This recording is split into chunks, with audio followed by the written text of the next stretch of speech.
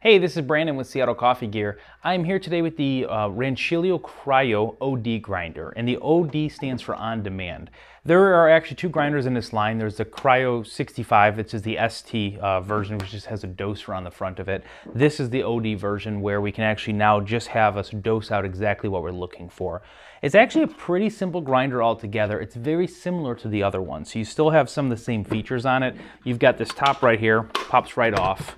What was unique about this one and the other ones, of course, is it sits flat, which is a really, really nice thing to do. You still got the same adjustment knob on here as well, um, as well as the 64 millimeter burr set grinders.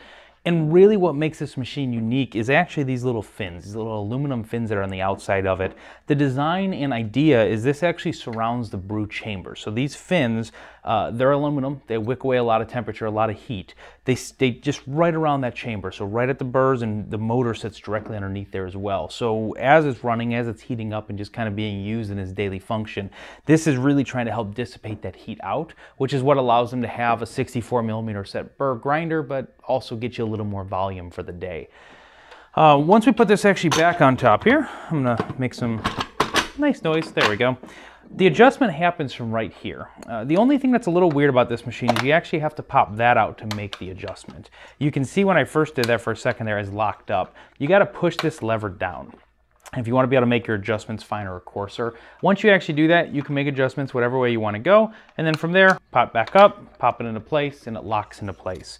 The nice part about this, if you have baristas that like tinkering with things and you don't want them actually tinkering with it, right now it's locked up. It, they have to make a conscious effort if they want to come in and actually make that change. Um, but really, inside that grinder, if you watched our other video on the uh, on the Kryo 65 version of it, it's exactly the same inside. This is the unique feature. This is what makes it eh, more expensive. It also makes it more useful in a lot of high volume cafes. Uh, they actually give you three buttons. Uh, that's kind of unique for a lot of the other manufacturers. A lot of them give you these two and they'll give you like a third mode button, but it's not actually programmable. What's cool about this one is we've got the single, which is right here. If I hit that one, it takes me to double as well.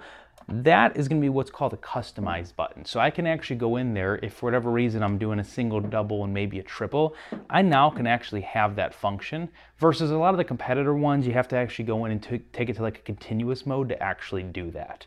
So uh, nice little feature, adds that third option for you as well. Other than that, this, the user interface is simple. I mean, there, there's just nothing here. You don't get into programming by touching anything that's up here as well. So again, you can't have a barista get in there and make a change uh, easily. They have to actually do a little bit of work to do that.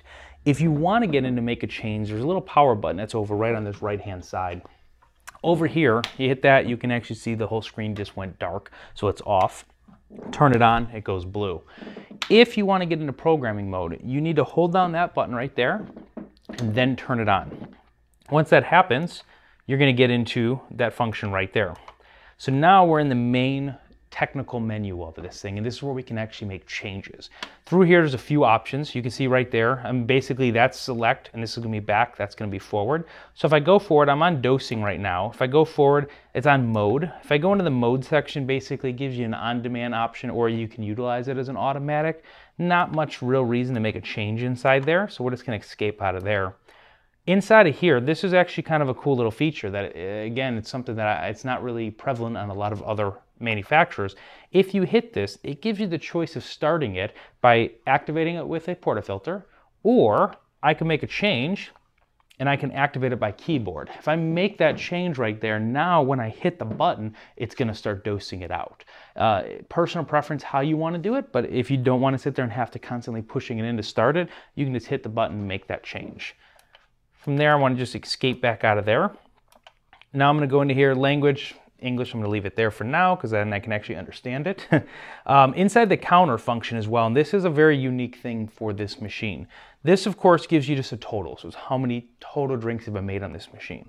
If I go over this way, though, now I can actually have my counter option, and it'll tell me my single or my double, um, custom button, which is down there. And then of course you can reset it. So if, I don't know, once every couple weeks or so, you want to try to keep track, make sure you're not running through a bunch of espresso that's not getting charged, you can figure out how many grind how many shots they're actually producing with this.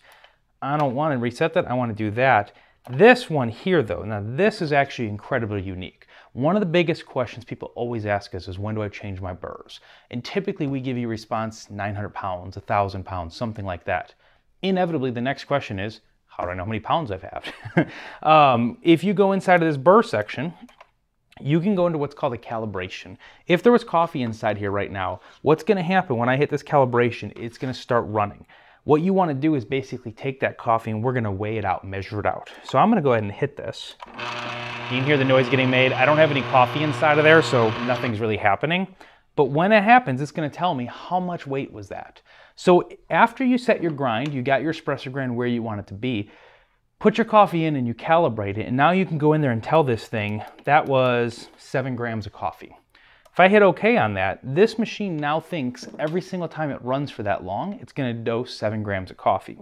Now I can actually get inside of the burr counter and I can actually see how long or how much weight has actually gone through this machine.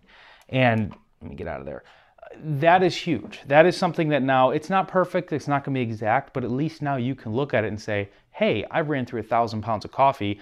I need to get new burrs put inside of this thing. Um, that's really what that whole calibration is. Once again, once you change your burrs out, you reset it, you start on all, all over. So we're going to escape out of there now.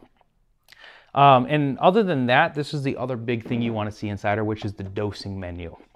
Inside the dosing menu, it's going to allow me single or double. And in there, I can tell it how long I want it to run for. Keep in mind with all of these, they don't dose out by grams. It's a matter of time.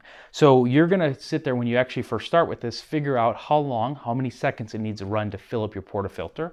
Once you decide that, you can go in there and actually program this. So I wanna get out of there, go to the double, and let's just say for the double, I wanna raise it up to about six seconds, which is pretty standard on this machine for actually dosing out roughly 18 to 19 grams of coffee. So we go and hit that right there. Let's get out of there and escape. And that's really all of my features. So now I just go ahead and turn it off, turn it right back on, give it a few seconds to kind of run through to clear this. And once it actually gets through there, now I've got my customize button, which is that down here. My single will run for two seconds, and my double is gonna run for six seconds, which I just programmed down there. Very simply, we'll reach back here and just grab a few things. Put a little coffee in there this time. Try to do this without spilling it over myself. Basically, portafilter, it sits right inside of there. If I want to dose it out, push it in there like that. You're gonna see a little counter that's happening from this standpoint. Once it gets up, we're there. That was six seconds, I just did that. It's about an 18 to 19 gram basket. That's not bad. That's pretty close. Um, everything changes from inside here. So again, if you make an uh, adjustment to your grinder, the volume that's going to come out is going to be more or less depending if you went coarser or finer because it's a purely second base thing. But once you're done with that, it's simple. You take it in, you put it in, it stops automatically for you. Doesn't make too much of a mess as well. It's a pretty clean grinder and other than that, it's, it's a great grinder. For the price point that it sits inside with most of the other 64 millimeter burr grinders. It's a really impressive grinder, the features you have. Like I said, the only interesting part is just this adjustment, um, but that's a kind of a minor annoyance to deal with for a lot of the other pluses this grinder gives you. Uh, if you want to learn anything more about it or see anything else, please go to seattlecoffeegear.com.